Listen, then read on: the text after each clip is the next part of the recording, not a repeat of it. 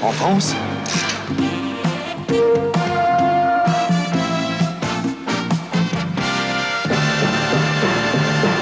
C'est maintenant le temps de savourer une bonne labatte légère. Pour son goût robuste mais léger, comme on l'aime, quand on vient de donner le maximum. Puis, quand est-ce que vous êtes encore d'aujourd'hui? Pour tout de suite, une bonne légère, ça se prend bien. Labatte légère, ça se prend bien.